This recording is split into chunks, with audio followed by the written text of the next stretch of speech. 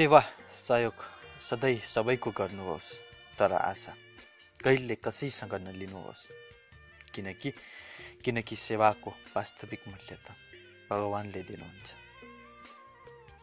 जिन्दगीमा माथि उठ्नको लागि त पखेटाको सहारा केवल पन्छीहरूले लिने गर्दछ।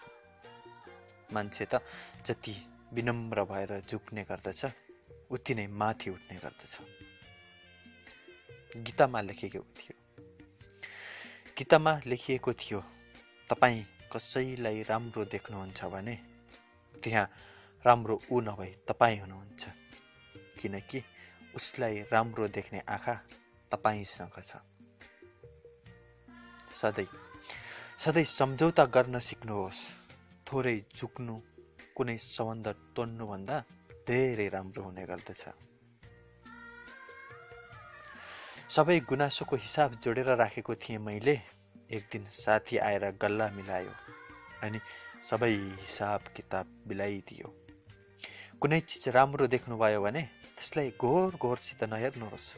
सायद कतै नराम्रो पनि देख्नुहुनेछ। तर तर कुनै चिज नराम्रो देख्नुभयो भने त्यसलाई घोर घोरसित हेर्नुहोस्। सायद कतै राम्रो पनि देख्नुहुनेछ। जीवनमा यी चार चिज कहिले नतोड्नुहोस् विश्वास नाता वचन अनि मन। किनकि यो तोड्दा आवाज आउँदैन तर दुःख धेरै हुने गर्दछ। किनकि यो तोड्दा आवाज आउँदैन तर दुःख धेरै हुने गर्दछ। हस्त धन्यवाद। तपाईँको जिन्दगी सधैँ खुसीमय रहोस्।